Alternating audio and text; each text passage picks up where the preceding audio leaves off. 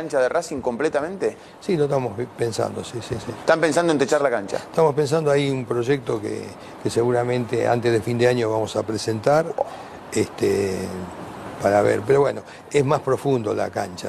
Yo creo que los estadios, si no hay una ayuda de algún fondo de- del Estado para todos los estadios, es muy difícil ayornarlos a lo que es. Uno cuando viaja un poco afuera se da cuenta que estamos muy lejos de, del tema de seguridad. por- Infraestructura. exacto, porque nos falta toda esa infraestructura. Víctor.